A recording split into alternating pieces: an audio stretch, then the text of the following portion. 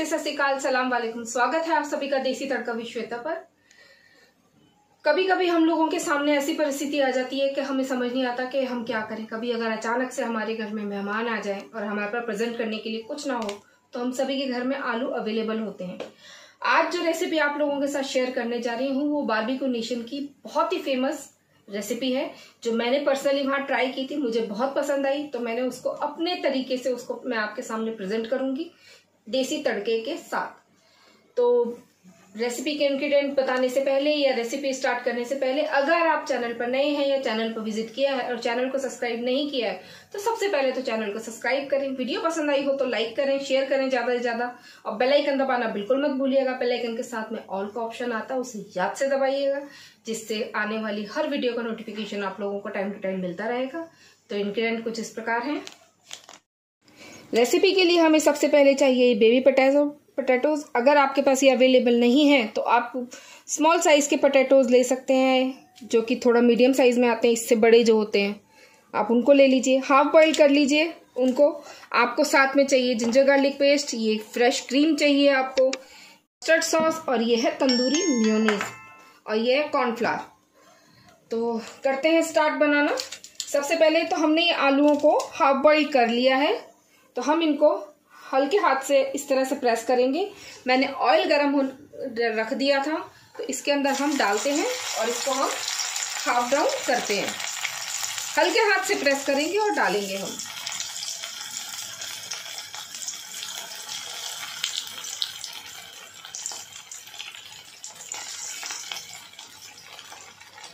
इसी तरह सारे आलू हम डाल देंगे इसमें।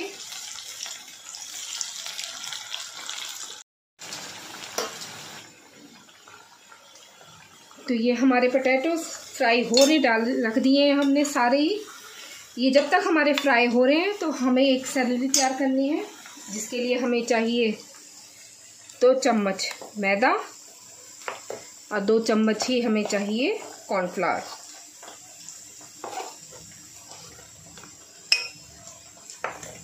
इसके अंदर डालेंगे हम थोड़ा सा फ़ूड कलर बहुत हल्का सा पिंच जितना रेड कलर का उपयोग कर रही हूँ।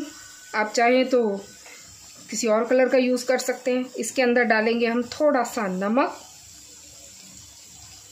मैंने तकरीबन आधा चम्मच से थोड़ा कम नमक का यूज़ कर रही हूँ। और इसको हम पानी डाल के इसकी एक सैलरी तैयार कर लेंगे। एक घोल तैयार करना है जिसमें हमें अपने पोटैटोस को डिप करना है।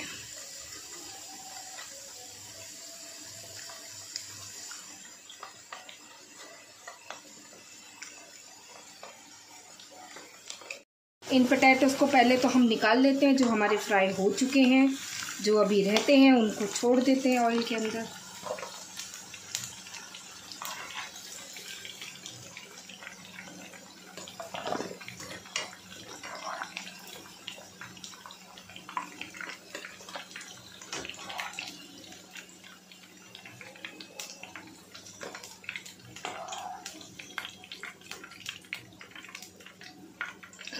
सभी हमारे फ्राई हो चुके थे तो हमने ऑयल से बाहर निकाल लिए हैं और तेल को गर्म होने के लिए ही रखा हुआ है हमने अभी। उसको ठंडी गैस की फ्लेम को हमने स्लो नहीं किया है। अब ये जो हमारी सैलरी तैयार हुई है, इसके अंदर वन बाय वन आप अपने आलूओं को कोट करते जाइए और तेल में डालते जाइए। इस तरह से।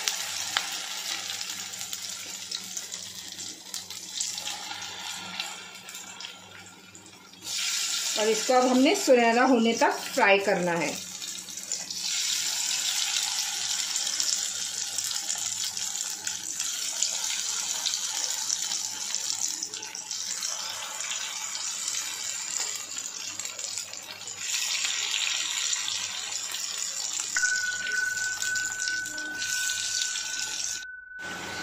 तो ये पोटैटोज़ हमारे बहुत अच्छे से फ्राई हो चुके हैं। करारे करारे तो चलिए इनको हम ऑयल से बाहर निकाल लेते हैं।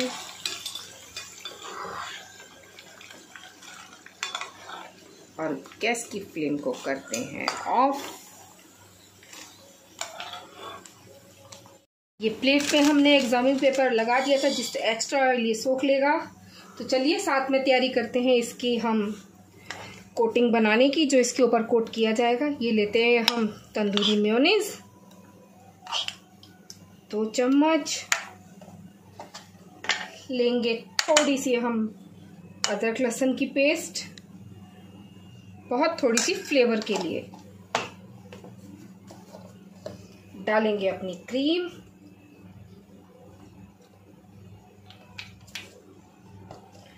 ये मस्टर्ड सॉस है। जो इसको एक स्पाइसी फ्लेवर देगी, साथ में जाएँगे थोड़े से मसाले हमारे। मसाले भी साथ साथ डाल लेते हैं हम। नमक। ध्यान रखिएगा सॉसेज में भी नमक है थोड़ा तो नमक कम ही डालें। और आपने जो सैलरी बनाई थी, उसमें भी नमक था। और इसमें जाएगा चाट मसाला। डालेंगे हम आधा चम्मच चाट मसाला। डालेंगे काली मिर्च पाउडर, आधा चम्मच स्पाइस के लिए, और इसको हम मिक्स करेंगे।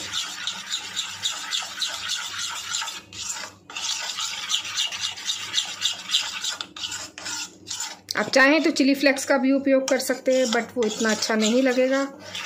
और अपने ये पोटैटोज़ जो आपने करे हैं, इसके अंदर हम डालेंगे। और इसको अच्छे से हम कोट करेंगे।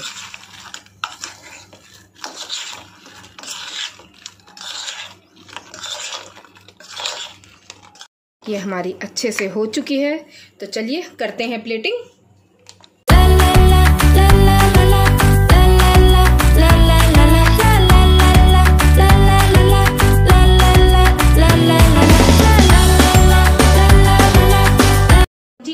करें टेस्टिंग, बताएँ स्वाद कैसा है आपको। आ जाइए।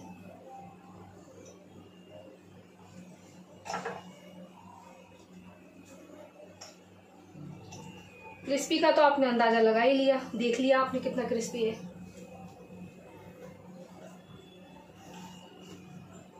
मज़ा आ गया।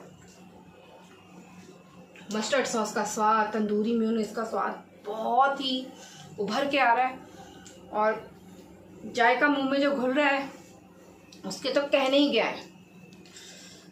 बनाएँगे आप, तभी आपको मालूम पड़ेगा कि कैसा स्वाद है। तो बनाएँ, खाएँ और इन्जॉय करें, बताएँ स्वाद कैसा लगा। बाकी चैनल पर नए हैं या विज़िट किया है, और अभी तक चैनल को सब्सक्राइब नहीं किया है तो चैनल को सब्सक्राइब करें। वीडियो पसंद आई हो तो लाइक करें शेयर करें, ज़्यादा से ज़्यादा।